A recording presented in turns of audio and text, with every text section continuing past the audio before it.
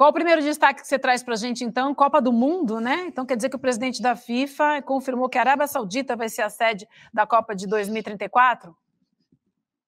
É isso, Vivian. A, a, FIFA anunciou, né, oficialmente que a Arábia Saudita vai ser a sede da Copa do Mundo de 2034. Depois da Austrália retirar a candidatura, foi confirmado que a Arábia Saudita sediará o, o evento esportivo, né?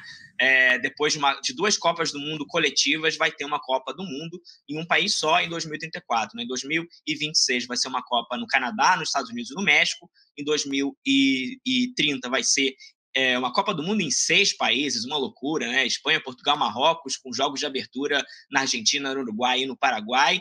E em 2034, essa Copa na Arábia Saudita, que já está gerando muita polêmica, né? A Arábia Saudita é um país é, com bastante restrição, né? Com é, muitas críticas que foram feitas ao Catar na última Copa. É, na Arábia Saudita, a coisa é ainda mais séria, mais dura, né? É, quase é classificado por muita gente como uma ditadura. Então é uma coisa aí que, que vai na contramão muito de um discurso que a FIFA tenta fazer, de que é inclusivo, de que é para todos, né? Só que na hora H o dinheiro parece que conta mais, né? É, é inacreditável, gente. Queria tanto que o Juca tivesse aqui para ouvir o que, que o Juca tem a dizer sobre isso. E o, e, e o Juca fez, né? É, a, a, a, cobertura dos, dos, Jogos Olímpicos, acompanhou de perto. Assim, gente, é, é terrível. Não, eu ia só lembrar que agora a gente entende né, o movimento que precedeu essa escolha de vários jogadores de primeira linha, né, indo jogar na Arábia Saudita, o Cristiano Ronaldo já perto da aposentadoria, mas ainda um grande nome. Então, uh, os árabes fizeram um movimento para mostrar para a FIFA, pode contar com a gente, a gente tem dinheiro, claro, isso a gente sabe que tem dinheiro, tem, mas tem é, seriedade, tem um projeto de médio prazo, então eles investiram, levaram jogadores, e tem esse aspecto político. Você vê que Espanha não vai poder fazer uma Copa sozinha, vai ter que dividir com Portugal, com Marrocos, né? Aqui é a Copa de 30. Estados Unidos não faz a Copa sozinho, mas a Arábia Saudita vai fazer uma Copa, aí volta a ser de um país só, como você estava explicando para a gente, e com muitos, é, muitas seleções a mais, né? Que a Copa passa a ter mais seleções a partir já dessa próxima lá nos Estados Unidos, não é isso, Lucas? É isso, a partir da próxima Copa são 48 seleções, né? Então, uma Copa bem inchada. É, e, e, é, e é isso, né, Rodrigo? Parece que eles foram abrindo as portas aos poucos, né? Contrataram o Cristiano Ronaldo, contrataram o Neymar, vão contratando para abrir as portas, mostrar para o mundo: ah, estamos aqui. É, mas a gente sabe que é um jogo de dinheiro, né? Claro. Isso acaba deixando bem claro, né? E até porque não teve nem votação, né?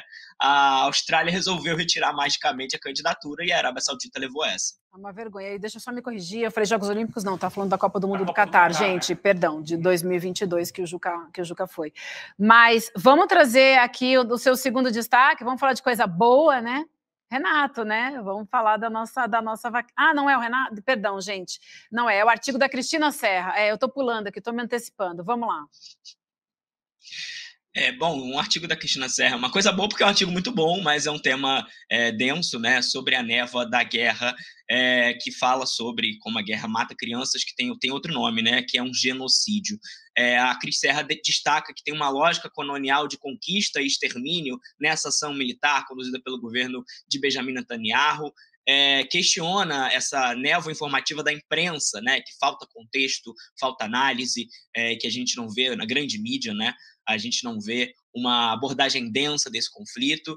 É, e também aponta que essa guerra mostra a falência da Organização das Nações Unidas. A gente já falou muito sobre aqui no ICL Notícias sobre essa falência da ONU e fica bem é, evidente, né? Então, nesse artigo, Gra Cristina Serra, eu recomendo muito a todos e todas que estão nos assistindo que, que confiram esse artigo lá no nosso portal, iclnoticias.com.br. Importante reflexão da Cris, né, gente? Fora que é sempre muito bom ler tudo que a Cris escreve, né?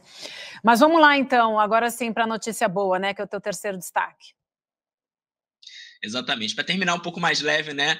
Falar um pouco sobre essa vaquinha. O Renato Freitas deu uma entrevista lá para o nosso portal, falando que é preciso manter os sonhos aquecidos, né? Falando sobre o sucesso dessa vaquinha. E nessa entrevista para o Chico Alves, Vivian, ele comenta um pouco o que pretende fazer com o dinheiro dessas doações, né?